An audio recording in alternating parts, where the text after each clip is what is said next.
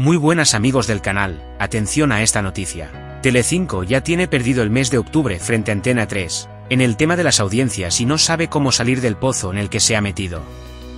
La nueva estrategia de Telecinco para intentar frenar el imparable avance de Sonsoles Ónega.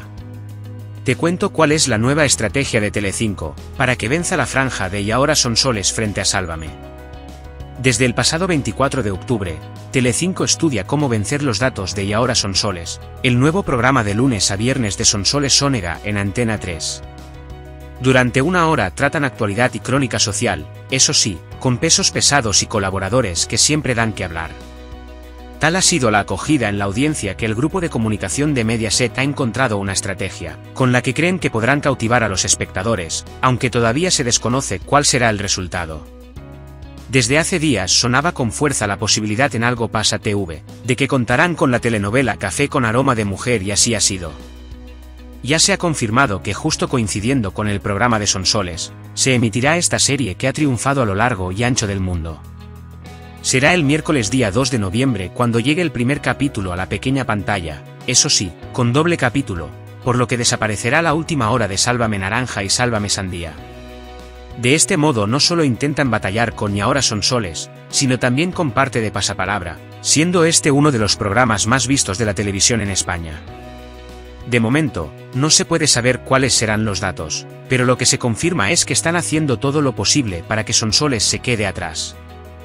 Los primeros días del programa de la comunicadora han conseguido muy buenas audiencias y opiniones en redes sociales, donde aplauden su talento y el buen aterrizaje que ha tenido Onega en su nueva cadena.